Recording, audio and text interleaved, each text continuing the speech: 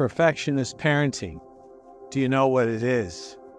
It sounds like it's a parent that raises their kid in a perfectionist way, but that's not what it is at all.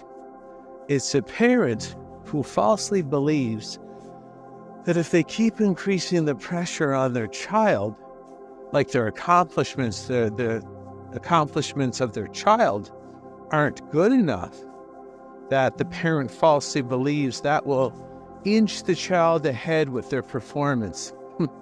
Unfortunately, that parent is using psychology in a very negative way. And that's what perfectionist parenting has not been proven to do. Perfectionist parenting is about a parent who keeps going at their child to say, well, you could have got 10 out of 10 instead of 9 out of 10. You could have got an A plus instead of an A minus. You could have got an overall GPA of 95 instead of 92. And it can be subtle, it can be direct, but that parent, eh, in many cases, trying to take down their child subconsciously. Usually it's a very weak and insecure parent who does that. Regardless, you have the end product, which is always a broken child. A child who eventually is beaten down so much because nothing they do can ever make the grade that they freeze, they stop performing, they crawl into a hole, and they never ever come out. I know of someone very specific to this example, and I was wondering why this lady would just keep beating the shit out of herself all the time. She's overweight. She smokes dope. She gets drunk all the time. She's sick. And to the point where she can't do anything anymore. At a very young age, she is completely incapacitated. And I knew it was a special case of self sabotage. I was always asking myself, why is this lady like this? Like, this is a high accelerated, high intense attack on self. Self sabotage is always about trimming your own tall poppy and taking vicious runs at yourself, making it a cycle and dulling your own shine. But this was like a high, upregulated, high level attack. And I always wondered why is this woman kicking the living shit out of herself to this extent? And then I met her mother. and her mother, oh my, nothing is ever good enough. You have to do this. You have to phone that person. You have to do that. You can't, running her life, always giving suggestions, never lending her daughter a comforting ear or a supportive ear. It's always advice, advice, advice, advice on how to live a successful life. And the mother, of course, never being successful herself. So how how is she given success advice in every phone conversation, every interaction? And what she's doing, she thinks she's helping her daughter, but she's so sedated herself, she can't see that her daughter gets worse and worse and worse and worse. And she'll never consider that it's her potentially that's causing this complete degradation of her daughter. So this is what you got to be careful of. Now this this daughter, this lady I know, is so destroyed by her own hand. And that's what that's what happens to these perfectionist children.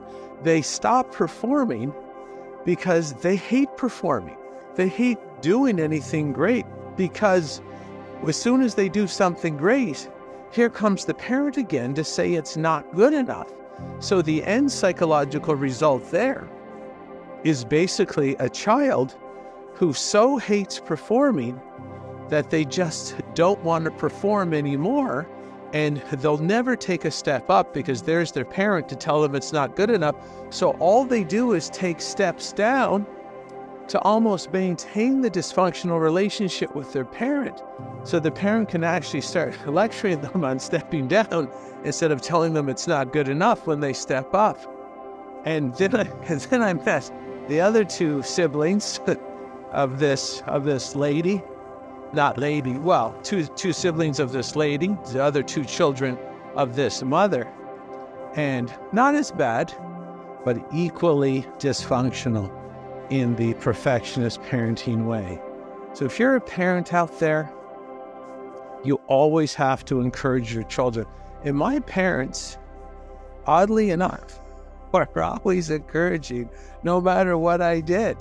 And people would tell them, You're not hard enough on Jason. You have to discipline Jason harder. You have to punish Jason. And yeah, I got some punishments, corporal punishment and other punishments, but they're always supportive. They're always supportive to this very day. And that's what a parent's role is to be supportive, give guides, but never come down on your kids for not being good enough, especially not being good enough in regards to a shitty and rotten system like we have today, like the school system or the, the occupation system where you get these meaningless, soulless jobs where you're you're working for Darth Vader down on the desk. Never ever discourage your children from getting outside these shitty systems that suck the life out of you and transfer the life energy up to the dark and rotting people at the top of the corrupt ruling pyramid. Always encourage that and encourage whatever they're doing. Encourage them to pursue their dreams. Stop encouraging them to run back into the safety of big brother government and put the government tit in your mouth and suck on it for the pension. That's fear nothing other than an empty and meaningless, meaningless life.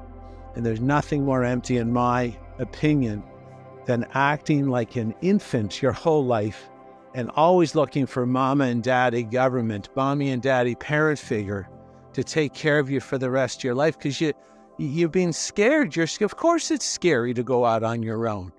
I've been working for myself since I'm the age of 24 It's scary every day, but it's better than an empty and meaningless life. I'll tell you that right now. You need more information like this?